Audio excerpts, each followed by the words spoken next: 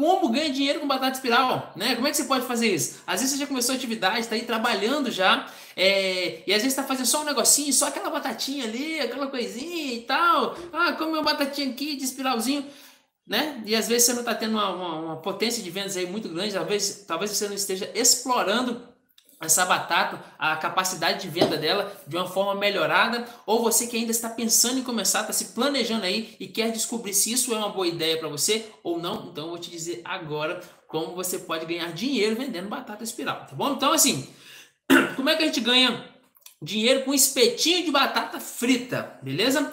Hoje você vai conferir aqui comigo como funciona esse negócio da venda de espiral e de que forma que você pode ganhar, ganhar dinheiro aí com elas, tá bom? Bom, é o seguinte, seguinte, é um negócio de, alta rentabilidade ou de boa rentabilidade, né? É, de baixo investimento inicial e com várias opções para você prestar serviços. Ou seja, então o quesito aqui não é só simplesmente vender um espiral, fritei, toma, come, se vira. Não, não é isso aí não, tá bom? A oportunidade dos espirais é, vão também além da batataria, só do negócio da batataria. É uma alternativa para você ganhar dinheiro é, também nas horas vagas, além de ter a oportunidade de montar um negócio, para você que, poxa, eu estou com tempo ocioso aqui, eu queria fazer alguma coisa. Então, com, com a batata espiral, você consegue simplesmente é implementar esse projeto nas suas horas vagas. Estou com horário vago? Coloca uma batata espiral ali para você trabalhar, porque ela é bem simples de você fazer isso aí, tá? As oportunidades para você ganhar dinheiro com a venda de espirais são as mais variadas o possível. Inclusive, vou até listar é, algumas aqui para vocês. É, e são bem legais, porque você pode atuar de dezenas de formas aí é, nessa culinária. Então, eu acredito que se encaixa Há um exemplo clássico aí de culinária de rua também, a batata espiral. Dá para você fazer várias coisas, mas é um negócio que se encaixa muito bem a essa culinária de rua que agrada todo mundo, né? Por ser uma comida rápida, saborosa, baratinha, também é um produto bem barato para você comercializar.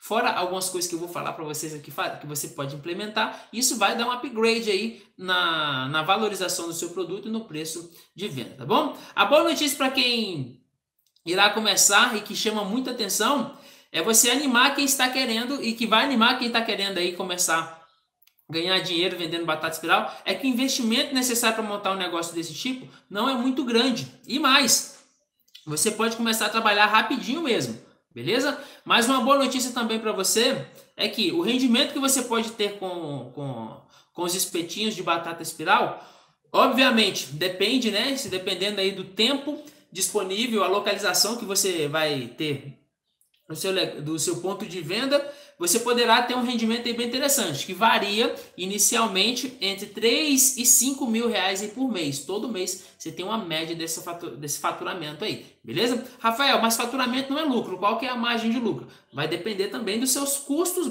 custos de montagem do negócio. Dentre tudo, a margem de uma batata espiral, ela chega a bater 70, 75% também. Ela é bem parecida com a batata palito. A diferença é que os processos são, eh, são, são uma coisa não tem nada a ver com outra nos processos de preparo e que a gente acrescenta também é um, um, palito. Fora isso, é um negócio muito simples. Você tendo maquinário, é, é, bem simples de você trabalhar. Então, aqui entre nós, eu considero que 3, 5 mil reais todo mês aí para você, é, com a margem dessa daí que eu apresentei, é um bom dinheiro para dar um extra aí. Ah, dá para ajudar em casa de forma bem bacana. Tá certo? Então, é, para alguns isso é pouco, para alguns isso é muito. Aí você decide o que, que você quer. Agora, se você, independente do negócio que você tem, mesmo parecendo ou aparentando ser pouco, dá para implementar muita coisa é, bacana aí para você, tá bom? E com a experiência que você for adquirindo, você pode pensar em expandir o negócio aí, montando uma batataria original, de fato, tá? Com um cardápio aí bem variado.